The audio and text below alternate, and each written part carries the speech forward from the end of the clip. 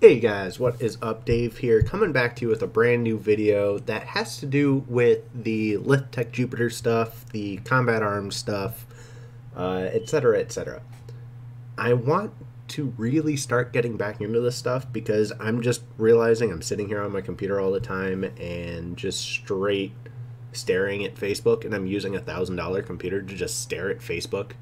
Uh, I need some motivation. I need some motivation. I want to get back into res modding. I want to get back into working on LithArchive because I feel like I lost focus on it, and I apologize for that. Um, the guys over on the Discord, like Radion and Radion, Radion, uh, Morpheus, Pure, and all the other guys, they're always messing with stuff when it comes to these games in some way. And I feel like I'm not doing enough, even though I have the website and the Discord set up and I'm one of the administrators. I really want to get back into this. I feel like there's a lot of potential here. And I was modding last night. I was bored. I was trying to mod last night. And I realized how much I've forgotten when it comes to these game files and just messing with Lithtech in general. I've forgotten so much. So I went to MPGH and I looked in their tutorial section and I realized how much I never documented. So I want to document relearning combat arms modding and just Lithtech Jupiter in general. I feel like it's such a great engine. It's very um, underappreciated and there's too many things when it comes to Lithtech that um, just there's too much you could do here, and it's not getting the praise and the love that it needs. So like, that's the wrong folder, I think. There we go. So like, I have Cyclone BMX. I want to make this game work. I've never gotten to play it. I've never gotten to do anything with it. I want to convert the maps in Cyclone BMX over to TPS and see if we could make like a small multiplayer shooter where we're running around skate parks or BMX parks shooting each other. I think that'd be badass. That's the kind of stuff I want to bring over to Combat Arms. Make a training map or a custom map and make it launch on there. Uh, there's also other stuff like I have the FTP stuff. I have so much more, so many more items that I just don't know what happened to them. Was it in here? Yes, so I have a lot of this stuff. I have Heat Project. Um, I have all the Combat Arms stuff, decrypted attributes from 2013, some map stuff, the tools. There's a new LTB to LTA, so if you guys want a tutorial on the new LTB to LTA, let me know because there's a complete new LTB to LTA that works flawlessly with Combat Arms that was released in the Crossfire res modding section of MPGH. It's a badass tool, and I love it. Um, but like these are just some releases and the downloads for it. There, I have a ton of stuff for it. I have like the 3ds Max, the Maya 5.0, the Visual Studio, the proper version to com- or uh, compile the code. Uh, I have the source codes in Jupiter ENT. I have all this stuff, and I I have Combat Arms installed. I need to run the updater, which I bet you I haven't ran it in forever.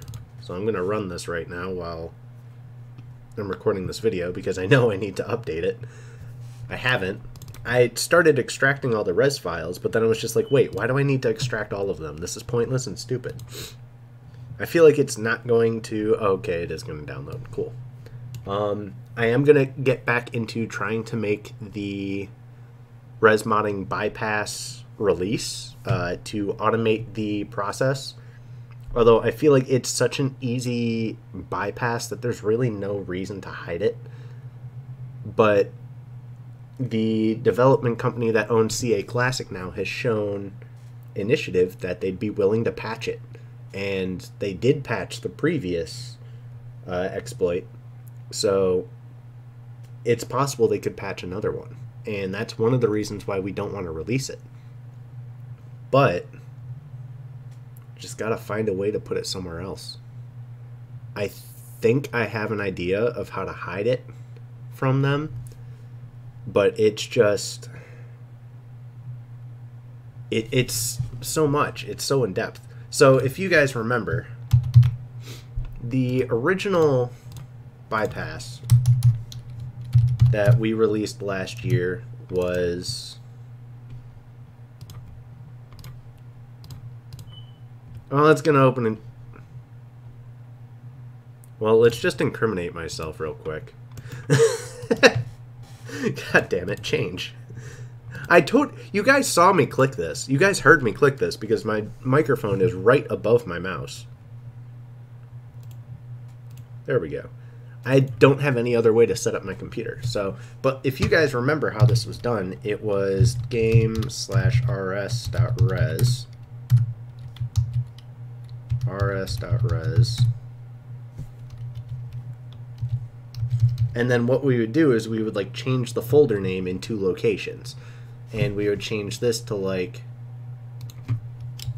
mods create a mods folder and put the modified rs.res in that folder. And we'd change it in two locations. So game slash rs.res and we'd change it here as well so and that's how we would run the game and actually get modding working so there is another bypass and I do have it working. Um, I was very surprised that it worked. I'll say that. Anybody could figure it out. It's not hard. But I want to get back into modding, and I realized how much I forgot. With the new LTB to LTA, it makes modding even easier as well because I couldn't even LTA convert the uh, stmchild.ltb, which is the one for uh, ST.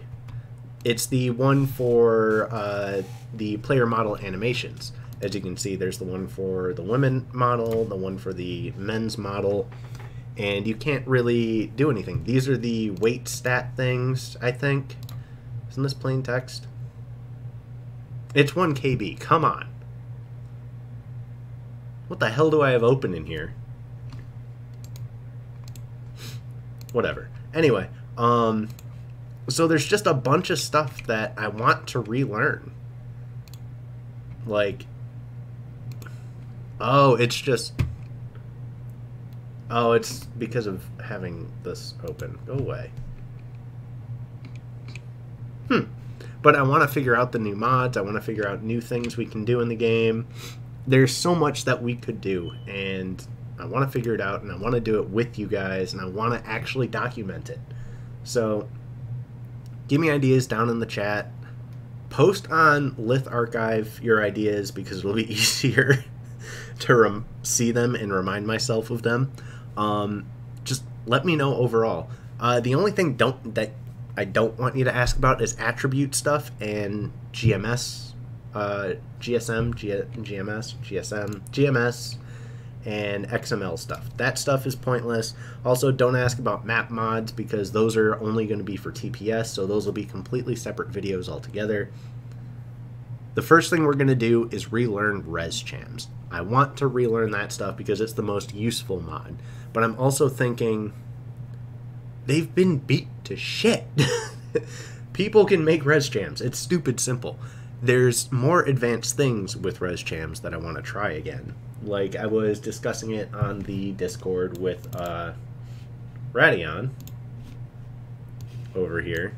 We were discussing it here, and I was talking about how during invincibility frames it would flash, and it was a res ResCham thing. I want to figure out how to do that again. I haven't done that in forever. That's the kind of stuff I've forgotten how to do. But there's also so many other things that would just be so awesome to bring back to the game, like custom models and custom animations and custom guns and what the oh that's because it's downloading the stuff for the update that's right anyway but yeah there's just a ton of stuff that i'm gonna huh i wonder if not internet jesus christ Okay, so it's not plain text here either. It's literally just a file extension thing. I was wondering if they like encrypt and decrypt on download, kind of like uh, Crossfire does. But yeah, I want to learn. I want to get into all of this stuff again.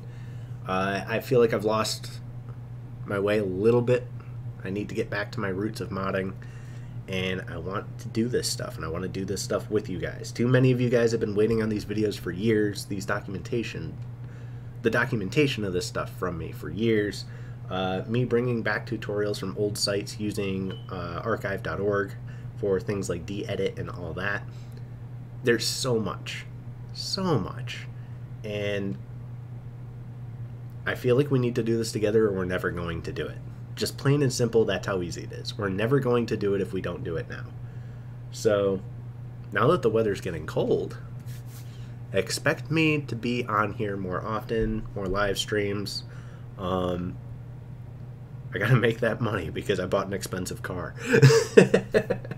That's none of your guys' fault. I'm sorry, but uh, yeah, my idiot ass bought an expensive car. Update on the car. Nobody's gonna care about this section. It's not misfiring anymore. We don't know why. It's fine.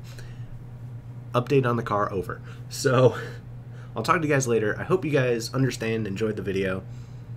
Um, possibly tomorrow I might try to live stream just to like get my head in order to think of things for this and just test things out as long as the res modding still works with the current update. It doesn't work with the current update, we'll use a TPS client uh, and go from there. I'm going to work on, at least tonight, I'm going to work on the ResMod bypass uh, program for the release. I think Morpheus was going to do that, but he just decided not to, or I don't. I think he's been too busy working on the master server actually for Combat Arms Reborn, which I want to. I'll talk about more of that later on. So I'll talk to you guys later. I hope you guys understood the video, understood what the future might hold for this channel when it comes to this stuff. I know I make these promises all the time. Hold me to it. Comment on my other videos, updates, uploads from after this video. Comment, where's the Lithtech bullshit? Bug me on Facebook, bug me on my Facebook page, bug me on LithArchive, bug me on the Discord. Where's the videos? Where's the videos? Where's the res modding? Live stream, you dumbass. Bug me about it. If I don't do it, bug me about it. Because I want to do this. It's just starting is hard. Getting started is hard. That's my only problem. Is starting something is difficult for me. But once I start it and realize how much I enjoy it, that's when I'm good to go. So I'll talk to you guys later. Hope you guys enjoyed the video. Uh, peace out.